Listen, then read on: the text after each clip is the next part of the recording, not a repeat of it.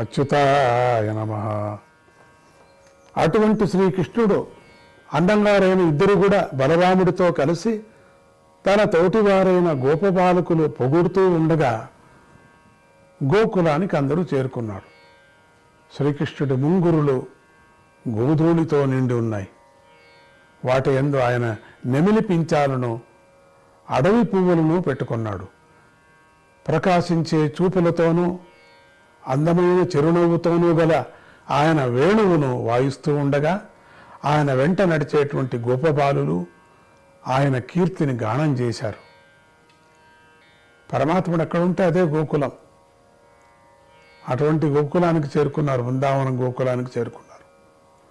ఆయన్ను చూడాలన్నటువంటి కోరికతో గోపికలు ఆయనకు ఎదురుగా వెళ్ళారు.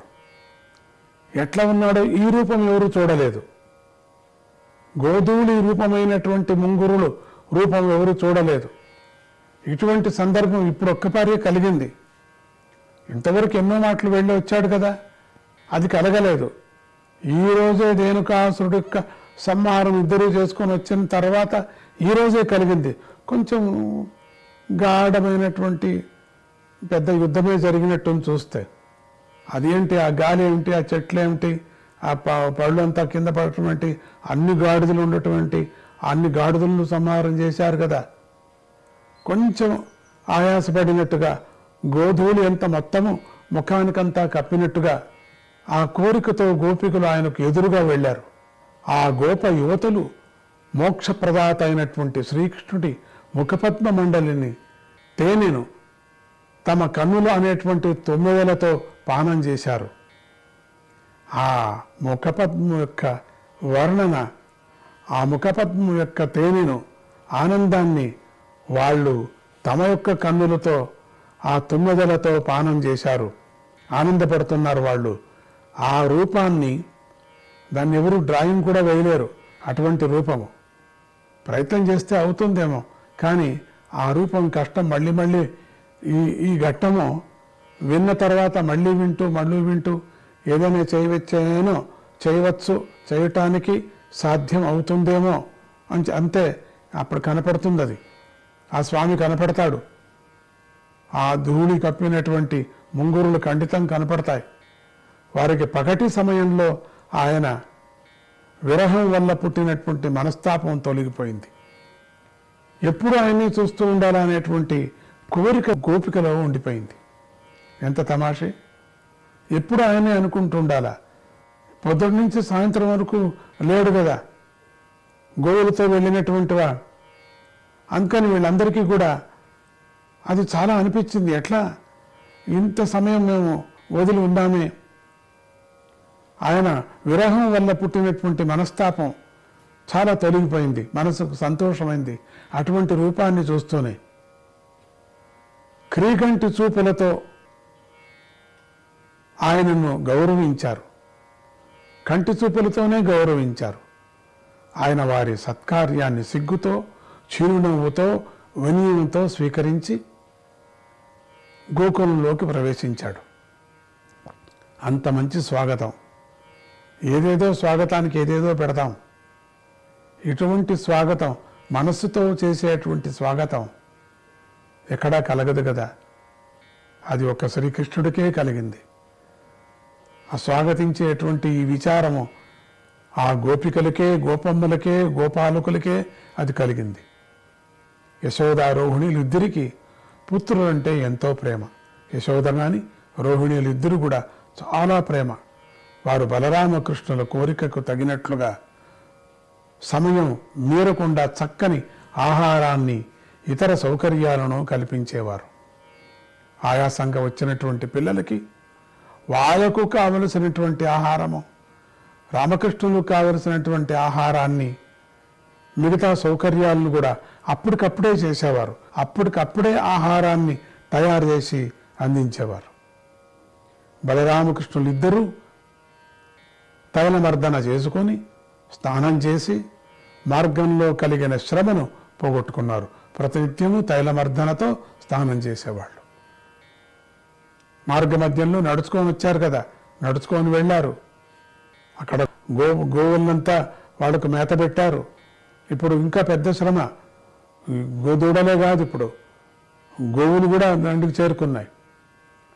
ఈ మధ్యలో ఇది వేరే రేణుకాసుడు యొక్క సంహారం వేరే గాడిదను సంహారం. ఇవన్నీ చాలా ఆయాసపడ్డారు. వచ్చేటప్పుడు వాళ్ళ యొక్క రూపం చాలా అద్భుతం అనుకున్నాం కదా. అటువంటి ఆయాసపడిన వాళ్ళు ప్రతినిత్యము తైలమర్జన చేసి స్నానం చేస్తారు. వాళ్ళిద్దరూ అందమైన ఉతికిన వస్త్రాలను ధరించి ప్రకాశించే మాలలతోనూ గంధంతోనూ అలంకారం చేసుకున్నారు. మాలలతో గంధంతో శ్రీగంధంతో అలంకారం చేసుకున్నారు. వారు గోకులంలో తల్లులు ఇచ్చిన రుచికరమైన ఆహారాన్ని తిన్నారు. మెత్తని శయ్యపై పడుకొని సుఖంగా నిద్రించారు. ఆ విధంగా భగవంతుడైన శ్రీకృష్ణుడు బృందావనంలో సంచరిస్తూ ఉండేవాడు. ఆ విధమైన రూపంతో బృందావనంలో సంచారం చేస్తూ ఉండేవాడు. ఒకనాడు ఆయన తన మిత్రులైన గోపబాలకులతో కలిసి బలరాముడు లేకుండా యమునా నదికి వెళ్ళాడు. ఈ సమయంలో బలరాముడు లేకోకుండానే కొంతమంది గోప బాలకులతో కలిసి స్వామి వెళ్ళాడు బలరాముడు లేవుడు ఆ సమయంలో. ఆ సమయంలో ఎండతాపం చాలా ఎక్కువగా ఉంది. గోవులు గోపాలకులు కూడా వేసవికాలపు ఎండతో తాపాన్ని పొంది దప్పికతో పీడించబడ్డాయి. మంచి వేసవికాలం అప్పుడు. అందరికీ దాహం అవుతున్నది గోపబాలకులు దాహమే. గోవులకు దాహమే. దూడలకు దాహమే. తప్పికతో పీడించబడ్డారు వాళ్ళంతా. వారికి బాగా దాహం వేసింది వాళ్ళంతా. అందరికీ ఒకే పర్యం దాహం వేసింది. వెంటనే వారు ఆ కాలిందులోని నీటిని త్రాగారు. ఆ నీరు విషంతో కలుషితమై కలుషితమైపోయింది.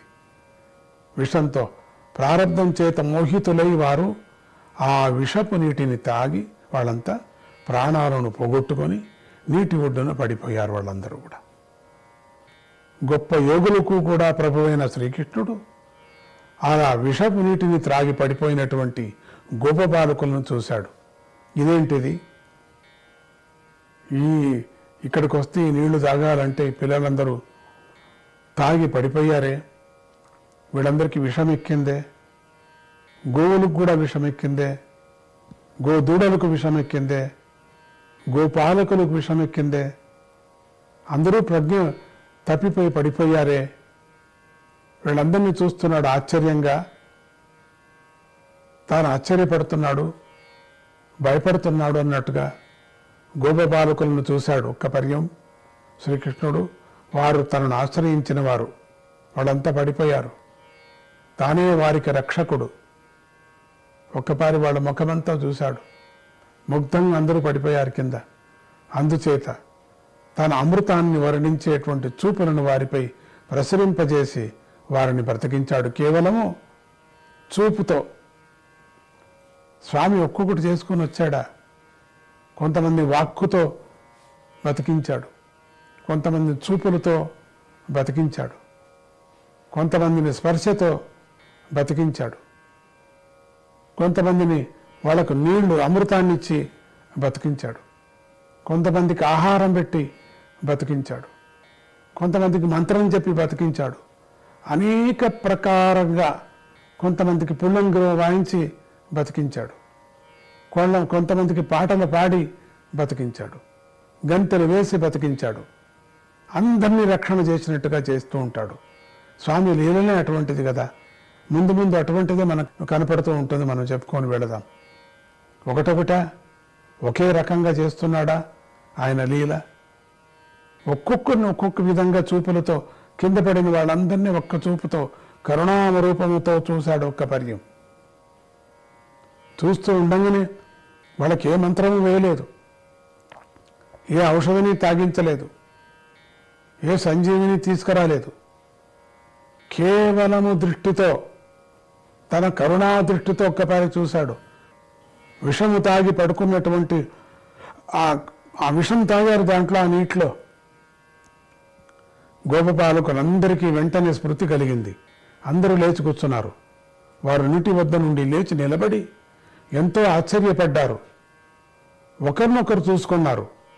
ఏం జరిగింది అని తెలియటం లేదు. తాము విషజలాన్ని త్రాగి మరణించిన మనం మరణించినా కూడా తిరిగి లేచి నిలబడటం గోవిందుడి అనుగ్రహ దృష్టి వాడి వలనే కలిగిందని వారు వాళ్ళంతా భావించారు. ఇదంతా మాయ ఎంత అద్భుతమైనటువంటి మాయ. ఒక్కొక్కరిని ముట్టుకోవచ్చు కదా ముట్టుకోలేదు. పడినటువంటి వాళ్ళ ముఖాన్ని ఒక్క పరిచయం అట్లా చూశాడు. చూస్తున్న వాళ్ళంతా లేచి నిలుస్తున్నారు. వాళ్ళకి ఆశ్చర్యం అయిపోయింది. గోవిందుడు కదా మనకు స్వామిని కదా రక్షకుడని స్వామిని నానా విధాలుగా కృష్ణ శ్రీహరే కృష్ణ ముకుంద కృష్ణ కృష్ణ అంటున్నారు. ఇంతటితో ఇప్పటికి మనకు పదైదవ అధ్యాయం సమాప్తమవుతున్నది. కృష్ణ శ్రీహరే నారాయణ.